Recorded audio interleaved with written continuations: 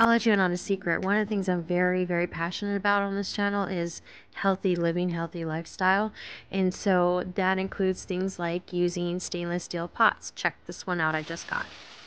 So you see here, my first time using this pan very well, evenly heats and cooks the meat. Uh, you'll see everything's cooking up really nice and together and it's on medium heat. Never cook on high heat. I rarely ever cook on high heat. Always on medium heat. Here you can see, looking great. Pan's not, nothing's burning on the pan. Nothing's sticking to the bottom.